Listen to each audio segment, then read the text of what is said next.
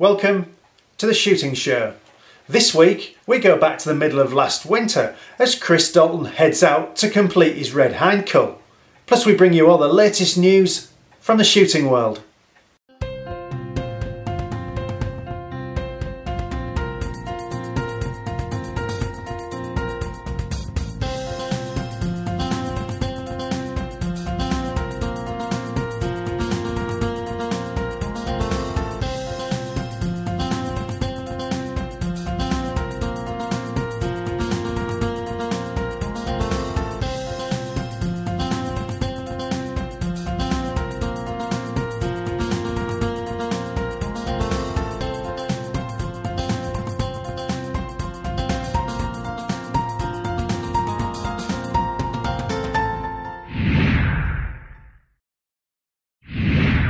Because this week we've got another clip up at Kinnaird on the Hinds. Now we've been messing around with a GoPro camera, early days, um, just to try and get some additional footage. The problem when you're on the hill and we're filming, bear in mind, is we might have to be crawling across a, a you know, quite a big expanse of open area. It's difficult enough to get in it, for me to get in. Imagine poor old Graham behind with a bloody great camera on a tripod, and it's almost impossible. So we're trying to just play around with the GoPro a little bit just to give us some of the footage that we wouldn't ordinarily be able to film. Um, sometimes we can film the stalk, we can film the deer, we can kind of film recovery, but what we're not getting is the shot and the, and the build up from basically crawl in to shot. Um, so that's a bit we're trying to work on a little bit. So uh, we've done some footage on the on the ATV recovering, etc. So I think it'll be a good addition to our um, our filmmaking career, and we'll hopefully let you see a little bit more. The bits that you don't see and you think, well, why didn't I see that? Just bear in mind you didn't see that because it's a bit like the films that Bear Grylls does when he's climbing a blinking rock face in a mountain and it's all very extreme and all the rest of it and suggesting to you that at one moment he can fall to his death. I don't think it's Bear Grylls we should be commenting. I think it's the poor bloody cameraman that's on flipping crampons, ice picks and a rope at the back of him with one hand on the rope and the other hand on the camera. Um, so just bear in mind that wherever we're filming, um, there's somebody behind me with a camera and also bear in mind that it's quite easy for me to go out and stalk and shoot a deer, but when we're trying to film for you guys, um, it's me going out to stalk and it's Graham behind me and it's the dog and a camera and we're all trying to get into a deer. And I'm trying to tell him which deer I'm going to shoot and he's filming the other one. So it's always quite interesting. So there'll be some good things on outtakes this year at Christmas, I'll tell you that for a fact. Very still morning, quite a lot of frost. Um, clearing as we kind of got out on the hill. Uh, so we again we used the stream gully to to get up into the um, the area that I wanted to work in, and again very quickly got into deer. It's often the case early in the morning. Um, the deer you catch them as they're moving back to find a high spot or a sheltered gully in the sun to lie up during the day, and you can catch them moving out. And I of quite like like that tactic. It works very well here.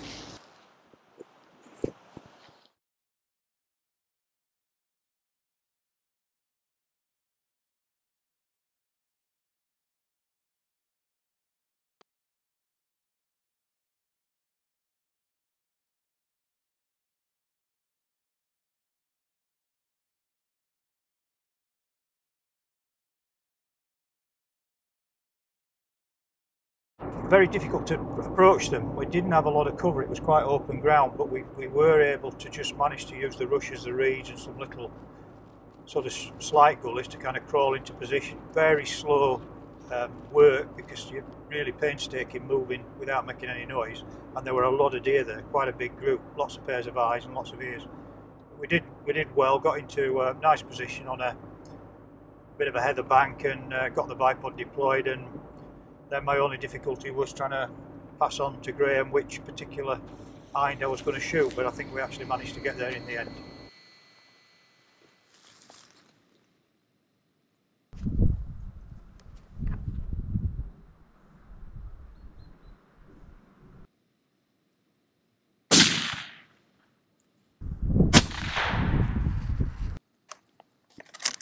The hind was on its own. I'd watched it for quite a while. I didn't think there was a calf with it actually, but it, it, it was a perfectly shot animal. Um, but it did run, it ran and stood for quite a while, but clearly there was a calf with it, and it it kind of almost covered the calf. I could see that the hind was just tottering and going to drop down, so I knew she was like dead on her feet.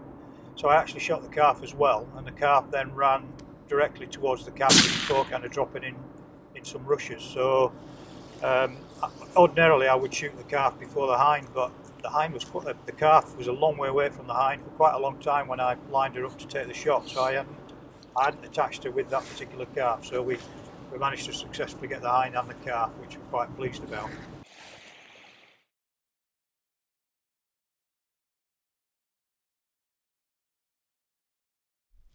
Okay, show me. Where is it? Show me. Show me. Show me. Good girl. Good girl.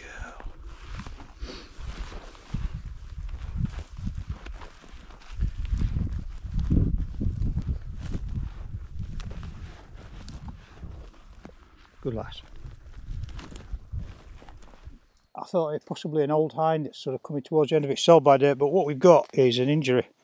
Um, it is in reasonable condition, but you can see it's it's lost some some weight for a for a mature hind, but it looks to me like a, a, a break or a possibly a bullet wound there, which has shattered the leg. Um, not much not much there at all. So ideal animal to take. So you concentrate on lone animals anyway, because generally speaking, as I said, it either old, uh, maybe a young knobber kind of wandering around on its own, but clearly a problem with this deer. Um, shattered shattered shoulder shoulder blade there as well. There's not much of the shoulder blade left, so you know, classic correct animal to cull off the hill.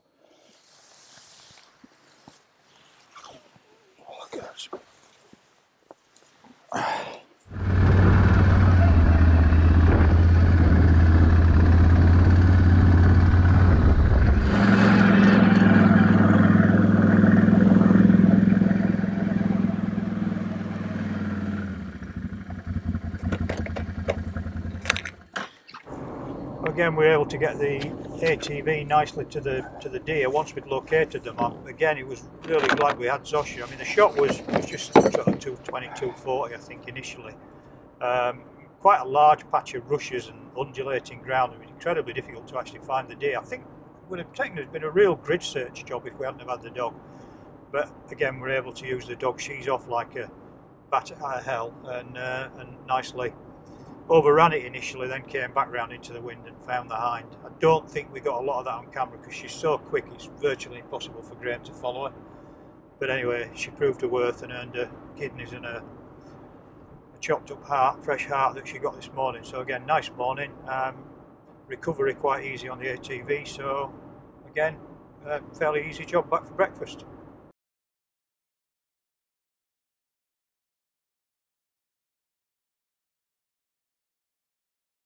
Chris there, finally managing to complete the extraction, and now the shooting show news. This is the shooting show news. Scotland has published new general licences for 2020 and has completely removed collared doves and black-backed gulls from the licence. The licences also don't apply on certain protected sites, and ravens haven't been included on the licence to prevent damage to livestock. BASC said these developments were concerning, but nonetheless urged all its members to read up on the new terms and abide by them. Young shots shined at the CPSA Awards last weekend. Amy Eastman won Overall Clay Shooter of the Year award, Amy Hedgecock was crowned Emerging Shooter of the Year, and Alfie Tibbles won Young Shot of the Year. Sporting Targets was named Ground of the Year, John Bidwell won the Course Setter Recognition Award, and Paul Bailey was Disabled Shooter of the Year. Head to the CPSA website to see the full details. The game season may be over, but you shouldn't forget about it just yet. The GWCT has asked all game shooters to take part in the National Game Bag Census, a confidential registry of species shot in the UK. Submitting your data, even if your shoot is only very small, will help improve the understanding of population trends, particularly of species that are otherwise difficult to count. You can sign up at the address on screen. And finally, we'll see you at the British Shooting Show this weekend. The show just keeps on getting bigger and better, and this year it will span four halls at the NEC. Don't forget to get advance tickets at shootingshow.co.uk and you might even see the Shooting Show team there. We'll be touring the aisles looking for the latest news, as well as doing some filming on the sporting rifle stand. So come by and say hello. That was the Shooting Show news. Well, that's it for this week. Thanks for watching. Please like us on Facebook and follow us on Twitter. And if you're not a member of BASC, it's time to join now. BASC, looking after your sport, looking after you. This has been The Shooting Show.